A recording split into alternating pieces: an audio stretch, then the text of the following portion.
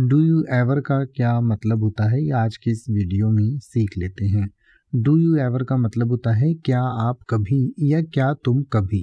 यानी कि जैसे अगर आप ये कहना चाहें कि क्या आप कभी सप्ताहांत पर लंबी पैदल यात्रा पर जाते हैं तो आप कहेंगे do you ever go hiking on the weekends do you ever go hiking on the weekends या अगर आप ये कहना चाहें कि क्या आप कभी अपनी भविष्य की योजनाओं के बारे में सोचते हैं तो आप कहेंगे do you ever think about your future plans do you ever think about your future plans या अगर आप ये कहना चाहें कि क्या आप कभी छुट्टियों के दौरान अपने दादा दादी से मिलने जाते हैं?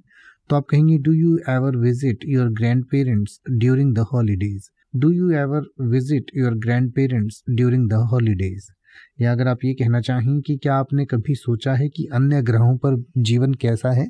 तो आप कहेंगे do you ever wonder what life is like on other planets अब आप ऐसे ही किसी भी वर्ड का मतलब हिंदी और इंग्लिश में यूट्यूब पर सर्च कर सकते हैं। आपको मेरी वीडियो मिल जाएगी, जिसमें आप बिना किसी फालतू बकवास के सीधा उस वर्ड का मतलब समझ पाएँगे। तो ऐसी ही वीडियोस को देखते रहने के लिए चैनल को सब्सक्राइब करें और बेल आइकन को प्रेस करें।